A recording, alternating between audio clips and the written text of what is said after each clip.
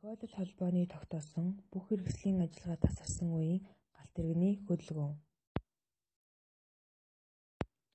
Тохиолдол холбооны тогтоосон бүх хэрэгслийн ажиллагаа тасарсан тохиолдолд галт тэрэгний хөдөлгөөнийг бичгийн мэдрэлийн тусламжтайгаар зохицуулна.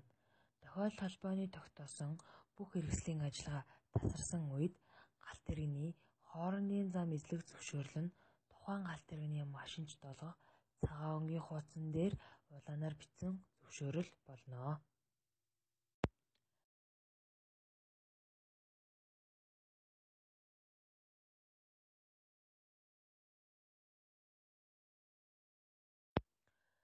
Цагаан өнгийн хуудсан дээр улаанаар бичсэн зөвшөөрөл нь зөвшөөрөл анхаарамж гэсэн хоёр хэсгээс бүрдэнэ.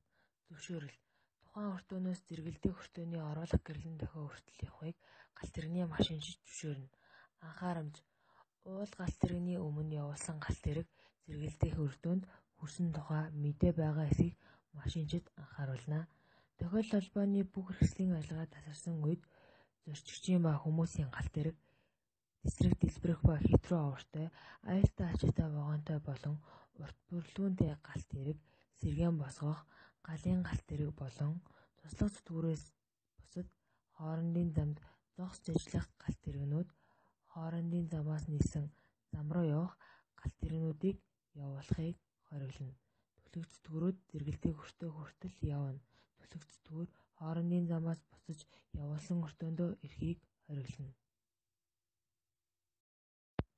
Тохиолдол холбооны тогтоосон бүх хэрэгслийн ажиллагаа тасарснаас хоорондоо холбоогүй болсон өртөөдийг хязгаарлагч хоорондын зам дахь галт тэрэгний хөдөлгөөнийг бичгэн мэдээгээр тогтоох хүртэл хоорондын нэг замтай хэсэгт даваатай чиглэл болох сондгой чиглэлийн галт тэргийг явуулж болно.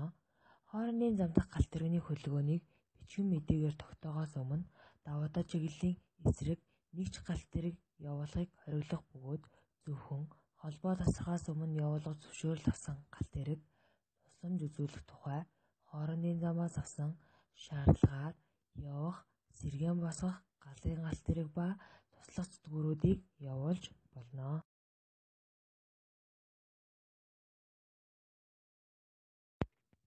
Даваатай чиглэлээс явуулах анхны галт тэргийг зэрэгэлдэх өртөөний зөвшөөрлгүйгээр явуулна. Тохиолдол холбооны тогтоосон бүх хэрэгслийн ажиллагаа тасарсан тохиолдолд өртөөдийн хоорондох бичгэн мэдээг даваатай чиглэлээс явуулах анхны галт тэргээр эхлэж дамжуулна. Энэ үед түүцээ зүтгүүрийн машинчид хоорондын зам эзлэх эрх болох цагаан өнгийн хуудсан дээр улаанаар бичсэн зөвшөөрлийг олгоно. Энэ галт тэрэгний машинчаар зэрэгэлдэх өртөөнд цаашид галт тэрэгний хөдөлгөөнийг зохицуулах тухай дараах маягтын дагуу бичсэн мэдээг хүргүүлнэ. Үүнд маягт А танад 2202 дугаар галт тэргийг 15 цаг 20 минутанд явууллаа. Хүрхийн хамт танаагаас галт тэрэг ирүүлэхийг хүлээе. ДСБ амглан. Маягт Б танаад 2201 дугаар галт тэргийг 16 цаг 10 минутанд явууллаа. Хойноос нь 16 цаг 20 минутанд 2205 дугаар галт тэргийг бас явуулна. ДСБ халиун. Хэрв тохиолдол тогтоосон бүх хэрэгслийн ажиллагаа тасарсан тохиолдолд хоорондоо холбоогүй болсон өртөөдийн даваатай чиглэл болох өртөөнөөс явуулах сондгой тоот галт тэрэг байхгүй бол даваатай чиглэлийн эсрэг өртөөнөөс явуулах галт тэрэг байгаа нь мэдэгдэж байвал сондгой тоот галт тэрэг явуулах эрх бүхий өртөөний жижүүр нь маягт В танаагаас галт тэрэг хүлээе.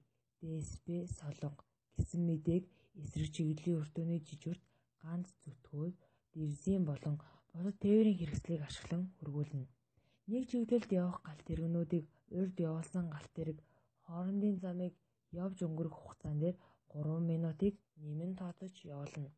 Тохиолдол холбооны бүх хэрэгслийн хэвийн ажиллагаа алдагдсан бүхий л хугацааны туршид явах галт тэргийг цагаан өнгийн хуудсан дээр улаанаар бичсэн зөвшөөрлийг бөглөж явуулна. Өртөөд хоорондынхоо холбоог таслахгүй тулд өртөөний жижүүрүүд тохиолдол холбооны байгууламжийн хэвийн ажиллагааг сэргээх хүртэл уг хоорондын замаар явах бүх чиглэлийн галт тэрэгний түүчээ зүтгүүрийн машинчаар дамжуулан цаашдын галт тэрэгний хөдөлгөөнийг хэрхэн зохион байгуулах тухай цагаан өнгийн бичгэн мэдээг А ба Б маягтаар илгээж байх ёстой. А, Б ба В маягтаар бичигдсэн мэдээнүүд хоёр өртөөний галт тэрэгний утсан мэдээний дэвтэрт бичигдэнэ.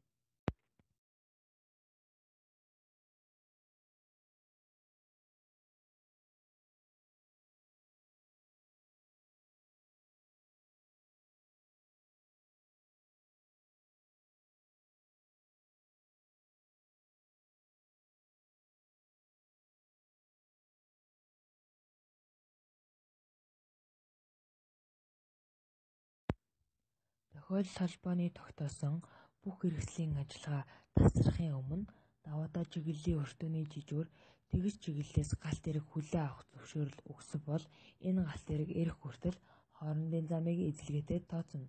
Хэрэв даваа даа чиглэлийн өртөөний жижүүр холбоо тасрахаас өмнө галт эрэг явуулах зөвшөөрөл авсан бол энэ зөвшөөрлөөр явуулж байгаа галт тэргээр зэрэгэлдэх өртөөний жижүүртэй бичгэн холбоо тогтооно.